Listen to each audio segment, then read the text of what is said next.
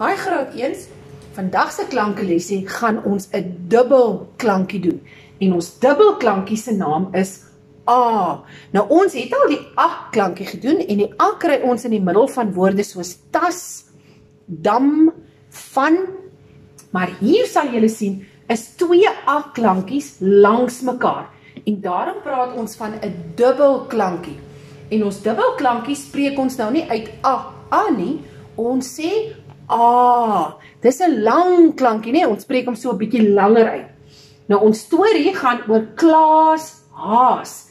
En hier kan julle sien, hier is 'n A klankie en daar is ook 'n A klankie. En daar sit Klaas Haas en ek wonder wie van julle kan sê hoeveel blomme hou hy vas. Kom ons kyk, hier is 3 blomme aan die een kant, nog 3 aan die ander kant en 3 plus 3 gee vir ons 6 en 3 se maatjie om 6 te kry is 3. Ja, julle is nou al mooi slim met die maatjies van. Maar kom ons kyk of ons die A klankies in hierdie storie kan herken. Die haas se naam is Klaas.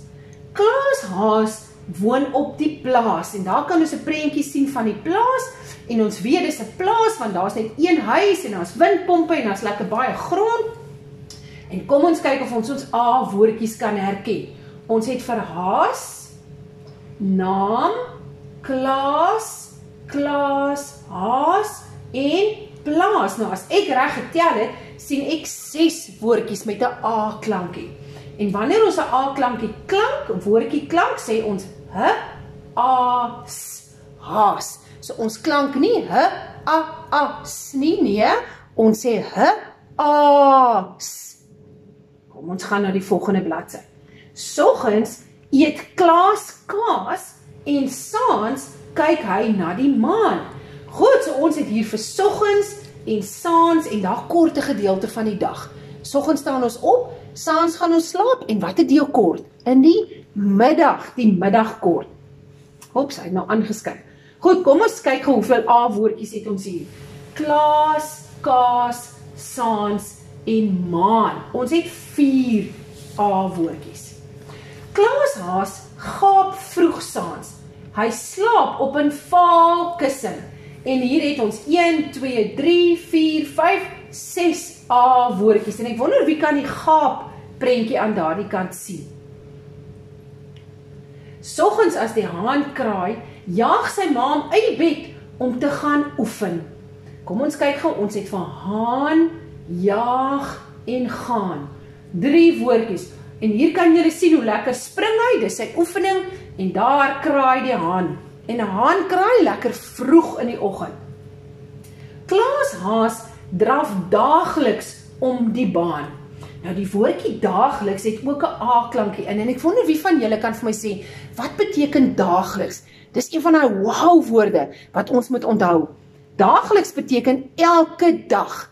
Iets wat jy elke dag doen, doen jy daagliks. Goed, en ons het 1 2 3 4 A woordjies. En ons nou vir baan klank, is dit b aan baan. En ons moet onthou, dis Benny Boekpens, né? Sy dammetjie lê aan daardie kant.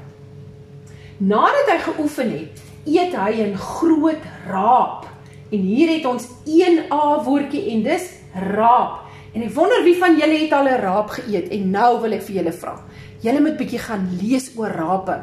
Groei 'n raap bo die grond of groei hy onder die grond? En is dit groente of is dit vrugte? Gaan vind vir ons 'n bietjie uit. Klaas Haas is gelukkig op die plaas. En ons kan sien hy's gelukkig. Sy oogies is mooi oop, sy mondjie lyk asof dit in 'n glimlag is. Hy is gelukkig en hy bly op die plaas en hier het ons weer 1 2 3 A woordjies. Goed, so kom ons lees gou ons woorde wat ons in hierdie storieetjie gehoor het. Ons A woordjies: haas, kaas, plaas, haan, raap, faal, maan, naam, baan, raas.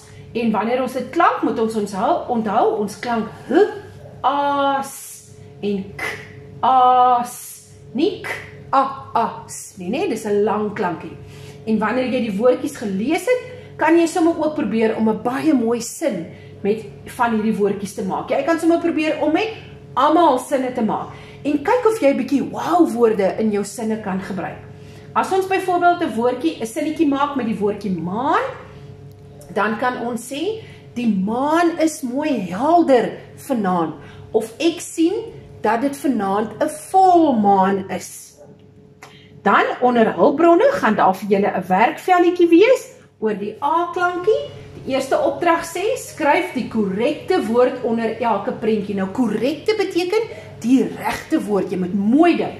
So as dit byvoorbeeld kaas is, dan moet ek die woordjie kaas daaronder skryf. Vul die korrekte woorde in. Weer korrekte beteken regte. En daar aan die blokkie is vir jou drie woordjies: plaas, saag en aan en jy moet kies watter woordjie pas by watter sinnetjie. Dan teken die prent in die blok. Haan en haas kyk na die geel maan. O, oh, dis 'n lekker prentjie om te teken. Haan en haas kyk na die geel maan. So teken julle prentjies baie mooi en oefen om baie mooi sinne te maak met julle A klankies.